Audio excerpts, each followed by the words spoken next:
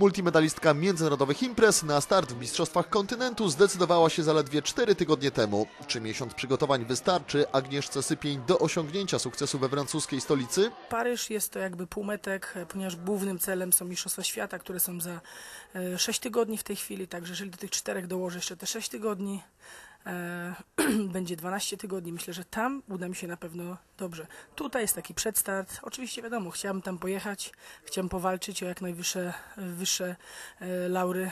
Natomiast co będzie, to zobaczymy. To jest dla mnie tak naprawdę trening. Wrocławska zawodniczka nie wie jeszcze do końca, z kim przyjdzie jej się zmierzyć w paryskiej hali Bercy.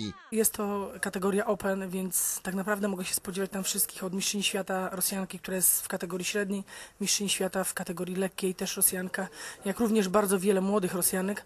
Natomiast na tą chwilę nie ma jeszcze list startowych. Mam nadzieję, że Japończycy mnie docenią i będę rozstawiona jako numer jeden e, i na początek będę miał jakoś słabszego. Natomiast to wszystko się okaże już w sobotę. Na Mistrzostwach Europy w Paryżu miał wystąpić także syn Agnieszki Sypień, Patryk, ale plany mistrza Polski pokrzyżowały problemy zdrowotne. Patryk wybiera się do Paryża, jedziemy dosyć dużą ki- ekipą, e, jedzie ze mną 11 osób, które będziemy kibicować e, w Bercy. No, myślę, że będzie e, również pełnił rolę trenera razem z moim mężem. Mistrzostwa Europy Open w karate już w najbliższą sobotę w paryskiej hali Bercy.